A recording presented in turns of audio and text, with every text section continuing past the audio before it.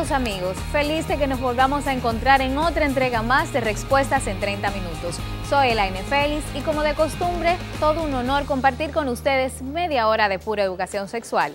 Iniciamos con los titulares. Analizaremos si nuestros profesores y profesoras están capacitados para enseñar educación sexual.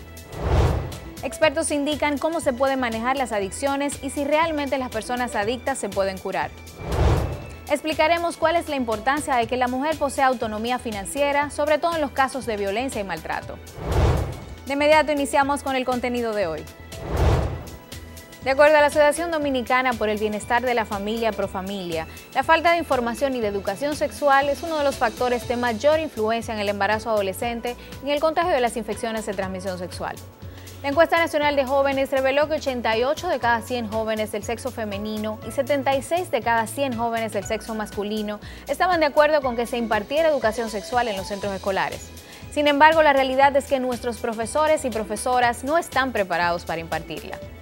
Sobre este tema, una encuesta realizada a través de respuestas.com reveló que el 100% de las personas encuestadas sí está de acuerdo con que se incluya la educación sexual en las escuelas para evitar relaciones a temprana edad y otros comportamientos de riesgo, porque a los padres y madres se les hace difícil abordar el tema con sus hijos.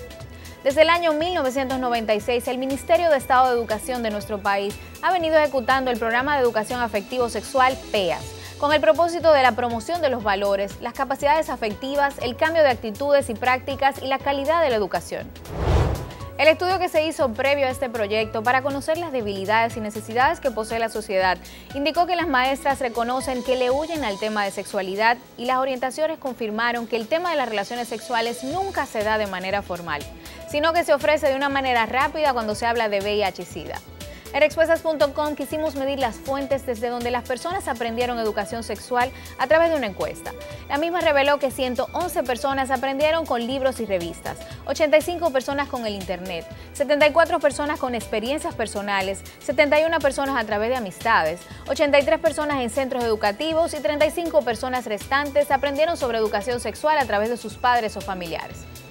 Es importante que todo programa de educación sexual esté centrado en los valores y que sea lo suficientemente rico en información clara y científica para que la sociedad pueda adquirir las herramientas necesarias que los ayuden a tener una vida sexual plena y saludable. Es necesario que los profesores y profesoras reciban antes una formación y capacitación sobre el tema, ya que muchos pueden tener conocimientos sexuales basados en mitos y en creencias populares, lo que transmitirán a sus estudiantes. Conozcamos lo que piensa la gente sobre este tema no, se relacionan con ese tema. Hay muchos de ellos que da como vergüenza hablar de eso y además como que, eh, no sé, hay muchas personas que lo cogen a relajo.